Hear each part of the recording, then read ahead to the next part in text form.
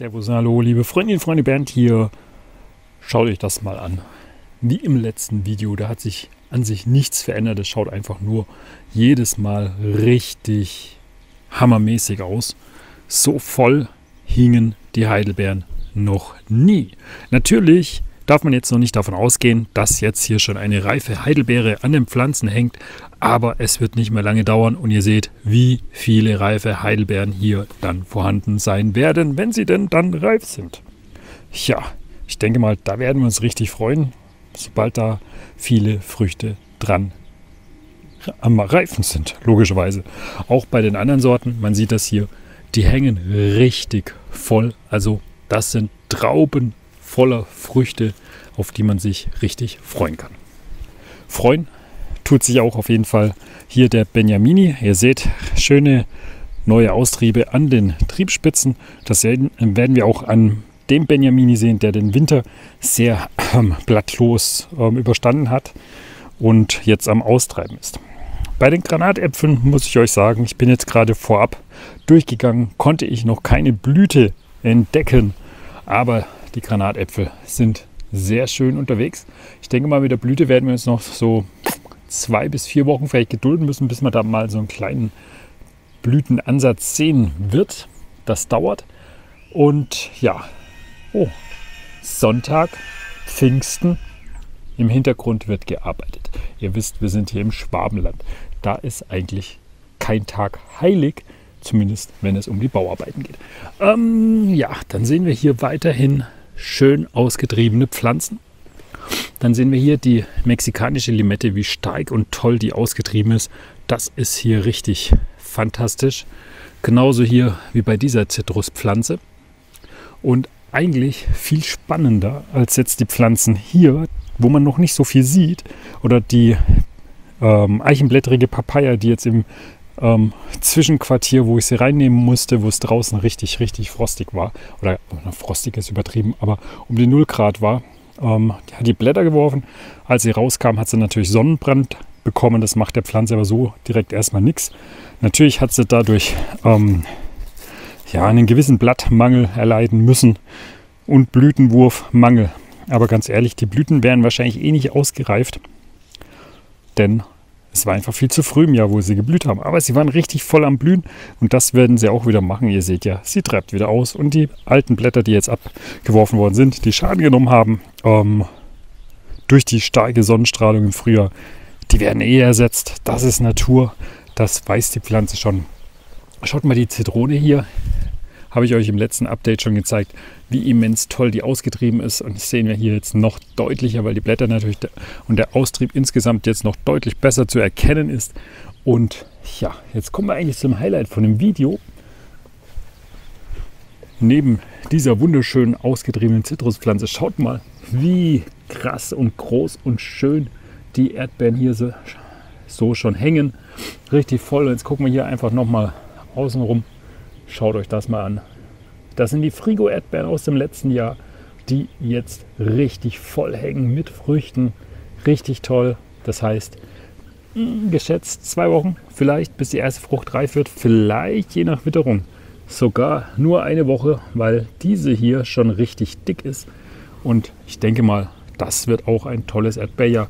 Wenn wir uns jetzt kurz daran erinnern, an Anfang vom Video, wie voll die Heidelbeeren hängen, für alle, die es schon vergessen hatten, was am Anfang vom Video war, hier nochmal die Heidelbeeren vom Anfang vom Video. Und hier wieder zurück zu den Erdbeeren. Es wird richtig toll, was das Erdbeerjahr betrifft. Bei den Zitruspflanzen, die hier stehen, genauso wie die Granatapfelbäume, die sind ja noch alle sehr klein und jung. Das heißt, da werde ich auch gar nicht traurig sein, wenn die nicht blühen werden. Ein bisschen enttäuscht wäre ich, wenn mein Granatapfel, den ich aus Samen gezogen habe, den ich euch auch schon von Anfang an gezeigt habe und jedes Jahr darauf gehofft habe, dass da mal eine Blüte erscheint, da wäre ich dann natürlich schon, ähm, sage ich mal, etwas verschnupft, unabhängig vom Heuschnupfen, wenn hier mal dieses Jahr keine Blüte erscheinen wird. Aber bisher ist hier noch nichts in Sicht. Ich kann zumindest keine ähm, keine Blütenansätze erkennen. Aber ich hoffe mal, das wird nicht mehr allzu lang dauern, denn die Pflanze schaut richtig gut aus. Die Granatäpfel haben auch im zeitigen Frühjahr richtig schön ihre Düngerpackung bekommen. Jetzt durch den vielen Regen könnte man natürlich wieder nachdüngen. Darf man nicht vergessen, weil Dünger wird auch aus dem Substrat ausgespült, auch wenn die jetzt relativ frische Blumenerde oder Pflanzsubstrat bekommen hatten von Anfang an, muss das natürlich auch wieder aufgefüllt werden. Ja, denn sonst haben die ein paar Probleme. So, und jetzt sehen wir auch von dieser Seite hier, wie voll die Erdbeeren hängen. Das heißt, das ist schon mal eine richtig tolle Sache. So muss das sein. Und bei den anderen Erdbeeren schaut es nicht anders aus. Bei den Zitruspflanzen, ihr wisst, ich habe da relativ ähm, junge Pflänzchen bekommen, muss man auch noch schauen, dass die entsprechend geschult werden. Die hier ist oben ziemlich struppig. Da muss jetzt ein Trieb praktisch als Haupttrieb gezogen werden und dementsprechend wird es wahrscheinlich dieser Trieb sein und den anderen wird man einfach einkürzen müssen und dann muss man schauen, wie es sich entsprechend weiterentwickelt. Jawohl, da hinten wird wieder weiter mit der Kreissäge gearbeitet. So muss das sein. Schaffe, schaffe, Häuslebauer. Und dementsprechend gucken wir jetzt mal weiter hier bei den Zitruspflanzen. Die hier ist auch richtig schön ausgetrieben. Und jetzt kommen wir eigentlich zu dem Pflänzchen, was auch so ein bisschen ein kleines Highlight ist. Ihr seht, schaut total nackig aus, total traurig. Aber ich habe ja schon öfters gesagt, sobald er austreibt, wird man wissen, wie man ihn weiter pflegen muss. Und schaut mal hier, kräftiger Austrieb an diversen Stellen. Und jetzt weiß man, welche man ausdünnen kann, weil da wird nichts mehr kommen. Und welche man eben weiterzieht. Und hier sieht man richtig schön kräftigen Austrieb. Und das ist eigentlich für Ficus benjamini typisch oder allgemein für Feigenbäume. Die können sich extrem stark wieder erholen, auch wenn sie massiv gelitten haben. Und man sieht das ja, der hat die Blätter abgeworfen, da sind einige Triebe abgestorben. Da wird man einfach jetzt demnächst mit der Schere dran gehen, überall, wo die Triebe dann eingekürzt worden sind, wo dann praktisch eventuell hier drin im Trieb noch ein bisschen Leben ist, was, sage ich mal, hormonell noch unterstützt wird. Wenn man das abschneidet, dann sind die unteren Augen auch aktiviert und ähm, wieder motiviert, dass sie entsprechend schön kräftig austreiben. Ja, kräftig ausgetrieben haben die Zitruspflanzen hier auch. Hier ist auch ein schöner, also ein schöner Blütentrieb will ich jetzt noch nicht übertreiben. Eine richtig dicke Blütenknospe, genauso wie hier eine schöne dicke Blütenknospe ist. Und auch hier an der Pflanze sehen wir richtig schönen Austrieb. Hier solche langen Seitentriebe von Granatäpfeln. Das kann immer ganz gut sein, wenn dann am Ende sich eine Blüte bildet.